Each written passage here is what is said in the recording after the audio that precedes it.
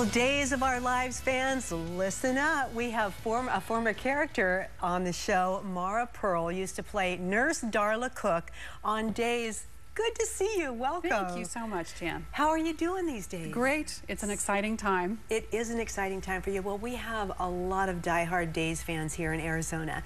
So what, maybe let's talk a little bit about the show and what was it like being on such a popular long-running show? I have to say, at first, I was such a snob. I thought soap opera was beneath me, and I was a classically trained actress. And I had this meeting come up, so I went to the meeting, and really, I took the job in about 10 seconds. I bet. and I learned so much from working on the show. I worked with marvelous actors, directors, crew. It was a grand experience. Did you, who were some of your favorite characters to work with? And maybe share some funny or dramatic behind the, we love behind, behind the, scenes the scenes stories. Well, I started on the show at about the same time Drake Hogestyn joined the cast. Uh -huh. And I was working with John Aniston quite a bit, who was the bad guy, Victor Kiriakis and I was always saving people by putting them on a gurney, covering them with a sheet, and scooting them off down the hallway. As far as behind the scenes, you know, the show must go on. I happened to have been hanging a picture which fell on my thumb and broke my thumb. Wouldn't you know, that week, they said, and now, uh, Mara, we're going to be shooting a close-up of your thumb. If you'll just, so we had to take uh -oh. off the cast and do makeup on the thumb. And also that week, we had a fight scene with me and two other women. You'd think they'd so, work around that thumb scene, you know? know. but so, the show must go on, show must especially go on. in soaps, yes, right? exactly. that's a lot of stuff to remember daily. I mean, just yes. give us a sense of what it's like to prep every day for a, a Now, I wasn't on every day, right. but I would be on maybe two or three times a week. A lot. The script arrives. The tricky thing with a soap is that the story progresses slowly so as to keep people involved in the story. And the mm -hmm. scripts are similar. So you might have a dreaded moment on Tuesday where you suddenly think, oh, I'm on the Monday script. But there was a lot of memorization, and then it was a 12-hour day. So yeah. you start the day very early with a camera block and a rehearsal. Right. So there's a discipline and an energy that you, you have to what do you think about all the the um, old actors making comebacks and making appearances back on the show? I'm thrilled. I'm waiting to get my call. you will. so from nurse cook now to a women's fiction author, how did that happen? It's an interesting journey. The intermediate step for me was that I created my own soap, but I did it for radio.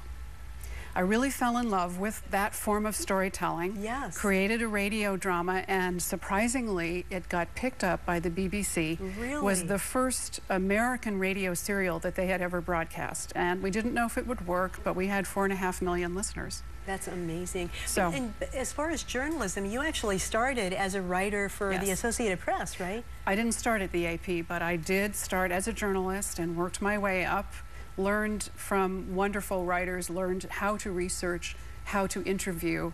So these two paths, the performing and the writing, eventually really came together when I started producing my own soap. And I developed an audience there, and there was you know, a demand for how about doing it as books? And now, so the yes. so the audience has been waiting for your book. Tell us about the new book and where you're going from there. It's a story about life in a little town uh, my protagonist is a young woman, a painter. She's always used her head and been real smart, but kind of ignored her heart. Mm. So she's starting to listen to her heart, which is opening up new pathways. And that's really what I have to say to readers, that are you listening to your heart? What in your heart of hearts did you always want to do someday?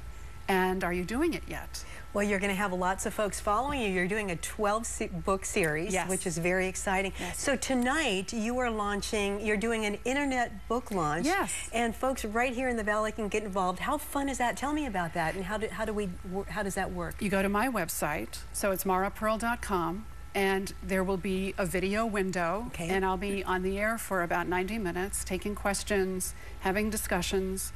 I love connecting with my readers any way that I can. So I love the live events. I do tea events. I'm doing a tea at Ritz-Carlton later in the week. And uh, it's just a lovely way to connect. And it's a new world, right? So Well- we're trying something. Absolutely. The best of luck to you. And it's really great that you're going to be doing so many different things here in the Valley. So we get to enjoy you in a lot of different capacities. So Thank you. Well, Phoenix is a wonderful place. I'm very thrilled to be here. So you bet. And so tonight you're going to be. five o'clock till till 6:30. MaraPurl.com.